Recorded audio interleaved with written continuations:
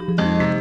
Fique em dia com a notícia. A difusora passa a apresentar Rádio Comunidade. Comunidade.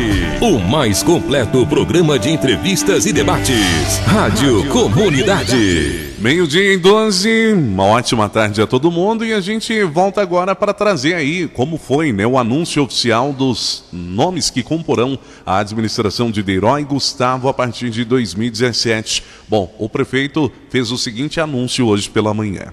Primeiro gostaríamos de agradecer imensamente a presença de vocês. Então estamos aqui para recebê-los, vamos anunciar hoje para vocês é, a composição do nosso governo. É um governo que vai começar a operar a partir do dia 1 de janeiro. Então vou colocar para vocês, assim, fazendo um briefing, né, fazendo um, um pequeno relato de cada um desses secretários que escolhemos e falando um pouquinho dessa história e colocando isso muito à disposição de cada um. Primeiro eu queria agradecer muito a imprensa de patrocínio, os meios de comunicação que sempre tiveram juntos comigo, sempre foram meus parceiros, amigos nessa jornada enquanto deputado.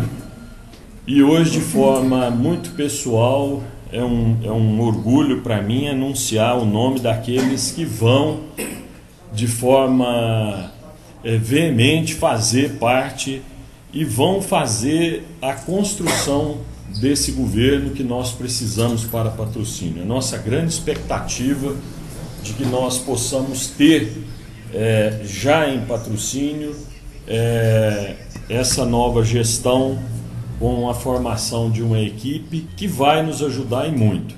Eu quero ressaltar que os nomes que nós vamos anunciar aqui são os nomes é, do primeiro escalão. É, vou tecer alguns comentários é, daqueles que também estarão é, de forma é, ajudando e colaborando com o devido secretário, né, que estarão aí num segundo escalão é, ajudando e, e, fazendo com que nós possamos ter é, essa gestão num governo mais sério, mais profundo e melhor para o nosso povo. Primeiro eu gostaria também de agradecer a todos os nossos vereadores, parceiros, né, que estiveram e que estarão conosco aí na Câmara Municipal, é, que fará a composição da nossa Câmara a partir do dia 1 é, e que farão com certeza é, o grande papel de nos ajudar nessa legislatura aqui por patrocínio. Dito isso, eu gostaria de começar dizendo é, algumas palavras muito importantes para anunciar para vocês. O nosso projeto é um projeto é, de mudança, um projeto de aproveitar pessoas que tenham vocação é, para nos ajudar nessa nova gestão. E queremos colocar de forma clara que é, tanto eu quanto o Gustavo conversamos muito, trouxemos muito é, nomes e tenho certeza de que os nomes que nós vamos anunciar aqui aos senhores, de cada pasta, de cada momento, é, são as pessoas que vivem que gostam e que trabalham por patrocínio já uma vida inteira. Não vão trabalhar só a partir de 1 de janeiro de 2017, muito pelo contrário. São pessoas que têm história, são pessoas que já deram contribuição e, acima de tudo, são pessoas que estão dispostas a contribuir para o crescimento da nossa cidade. Mostra a vontade que nós temos de começar um governo com seriedade e, acima de tudo, a regra número um, e a número dois, e a número três, e a número quatro, e a número N é um governo de transparência e de honestidade. Vamos peitar e vamos trabalhar para que possamos fazer uma gestão com seriedade nesse momento. Então, eu gostaria de começar anunciando é, o nome do, da Procuradoria Dentro da Procuradoria, nós temos o procurador, mas nós temos os outros advogados que farão parte dessa Procuradoria. Já em janeiro, quero fazer aqui um preâmbulo, estaremos já nos primeiros dias de janeiro encaminhando a Câmara Municipal para que nós possamos ter ali é, a classificação dos nossos é, subprocuradores, como tem no Estado, como tem na União Federal. Então, a nossa procuradoria ficará encarregado o doutor Anderson Aprígio, está aqui presente, uma salva de palmas. O doutor Anderson vai é, nos acompanhar na procuradoria, ao lado dele ele vai receber o doutor Erli, doutor Edésio, o doutor que sempre nos acompanhou aqui também, e demais advogados que sempre tiveram é, junto conosco aqui. É, nós vamos ter na Secretaria de Governo é, dois chefes de muita importância, que é o senhor Ailon Luiz e o senhor Marcos Brasileiro. Nós vamos ter é, na Secretaria de Cultura a senhora Eliane Nunes. A Eliane dispensa comentário, é uma pessoa que tem a vocação para a cultura, fez um trabalho magnífico ao longo dos anos e nós agradecemos e muito por essa participação. Secretaria de Educação, sem dúvida nenhuma, nossa escolha é, recaiu para uma pessoa que tem um, uma, um trabalho dentro da, da educação, que sem dúvida nenhuma é o grande pilar da educação do nosso município e demonstrou ao longo desses anos todos um brilhante trabalho na superintendência. Fizemos um convite, sabemos que abrir mão né, de, de estar aí à frente de uma superintendência para nos ajudar nessa Secretaria de Educação é sem dúvida nenhuma um grande é, louvor para o nosso governo. Então, queria cumprimentar a nossa querida Priscila. Na saúde, que sem dúvida nenhuma é um dos grandes gargalos é, do nosso governo, será enfrentado de forma veemente. Né? Nós temos aí a grata satisfação de ter uma pessoa que, apesar da militância na saúde ter sido levada muito mais por um revés de família, né? mas eu tenho certeza que todos vocês sabem, foi uma escolha pautada é, pela pessoa que é, pela pessoa humana que é e pela vontade realmente de ajudar as pessoas. Senhor Humberto Donizete.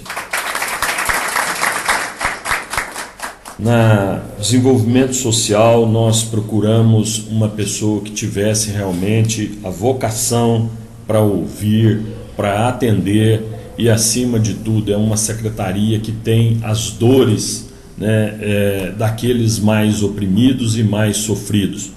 Nós fizemos um convite, não apenas a pessoa, mas todo um segmento para que eles possam realmente nos ajudar e muito nesta condição de governo. Quero convidar então né, para a Secretaria de Ação Social, Pastor Isaac. Secretaria de Esportes, sem dúvida nenhuma, é, nós temos a grata satisfação de ter vários nomes aqui dentro, muitas pessoas que, que nos ajudaram e têm essa vocação. Eu tenho certeza de que essa será uma secretaria que terá três nomes muito importantes né, e capitaneados aqui pelo secretário e pelos seus braços direitos e esquerdos Quero anunciar aqui então como secretário o senhor Ivanderlei da Silva Santos. Delei já escolheu aí o, o, o, Mauro Henrique e o João Grandão como seus braços direitos aí nesta secretaria.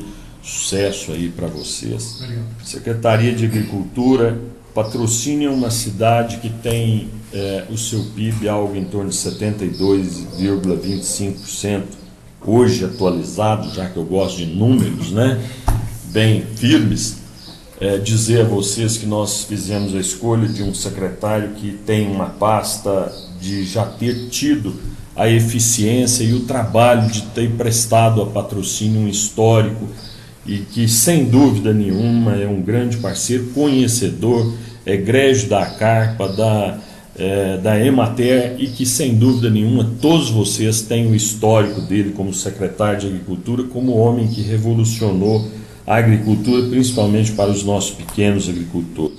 Senhor Rubens Rocha.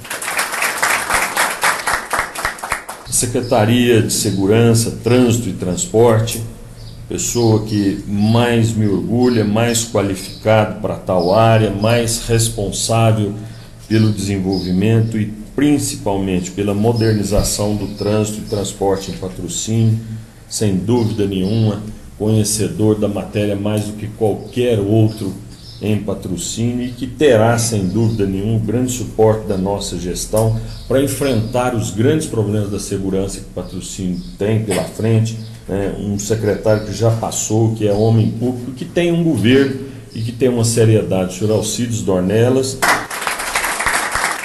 E ao seu lado, sem dúvida nenhuma, uma pessoa que vai ajudar em muito, né? É, nessa, é, nessa colocação de ser o segundo homem da pasta, aquela pessoa que tem realmente conhecimento, para quem realmente eu queria agradecer muito, que é o nosso Major Nestor. Meio ambiente é sem dúvida nenhuma é, a, a casa nossa de patrocínio. Estamos num século em que o meio ambiente é sem dúvida nenhuma é, a, o portal de entrada para qualquer grande investimento. Vamos ter grandes gargalos a serem superados e tivemos uma escolha feliz de ser aceitada e de um secretário que, sem dúvida nenhuma, já mostrou competência, teve muito desempenho à frente da Fazenda Experimental da EPAMIG né, e é um agrônomo por natureza, apaixonado pela terra, o senhor Caio Veloso.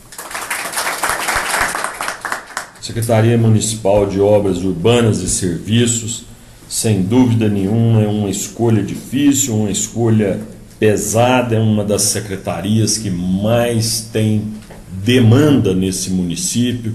Temos um município que vocês, ao andar pelas avenidas, veem as dificuldades e a falta de planejamento. Sem dúvida alguma, esse será um secretário terá uma missão árdua e eu espero dos demais secretários o maior afinco, o maior carinho e que possam realmente desempenhar até pela sua dinâmica de trabalho. Um homem simples, um homem modesto, mas um homem com um conhecimento prático que nos importa muito no momento para resolver os problemas de obras do nosso município. Senhor Jorge Moreira. O DAEPA, o nosso Departamento de Água e Esgoto de Patrocínio, sem dúvida nenhuma, é, é a grande autarquia que esse município tem, passou por várias mudanças e tem um desafio enorme. É, nós temos bairros em patrocínio, a exemplo do Morada Nova, a exemplo do Jardim Sul 1 e 2, né, e outros bairros nossos aqui, que a falta de água, elemento essencial para a vida, tem sido o grande problema. Né? Quero convidar e fiz a esta pessoa o convite para que retornasse àquela instituição com a grande missão de resolver os problemas e de ter o desafio de apresentar soluções. Homem sério, de, de pai sério, uma família que é exemplo e que eu espero que possa honrar muito o sobrenome, Vanderlei Mar. A comunicação do nosso governo, nós vamos reagrupar dentro da nossa Secretaria de Comunicação e fazer com, com que nosso governo possa falar a língua do nosso povo, possa falar realmente com as pessoas de forma tranquila, natural sem subterfúgios e, acima de tudo, que as nossas secretarias de governo possam de verdade acompanhar e possam levar. É, sem dúvida nenhuma, a secretaria que vai interagir com todas. Né? Vamos criar realmente um canal de comunicação. Né? Fale com o secretário, fale com o prefeito, com o vice. Né? Isso estará disponibilizado para que cada cidadão possa saber que esse será, sem dúvida nenhuma, um governo de transparência, um governo de ação né, e um governo que tem que ter resultado. Eu tenho dito que nós vamos ser avaliados muito mais pelos erros do que pelos acertos. Então, o nosso querido Marcinho vai ocupar a Secretaria de Comunicação. Temos uma autarquia independente que é o IPSEM, que é o Instituto de Previdência dos nossos servidores municipais, já anunciando aqui a primeira é, medida do nosso governo. É um instituto que hoje tem dificuldades, nós sabemos dos problemas financeiros que tem, e a primeira medida nossa vai ser na redução é, de cargos não de cargos, mas dos salários pagos, né, da remuneração paga ao presidente do IPCEM.